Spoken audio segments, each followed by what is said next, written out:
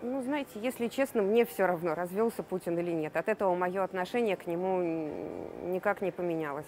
То есть я считаю, что президента нужно оценивать э, по его публичным делам.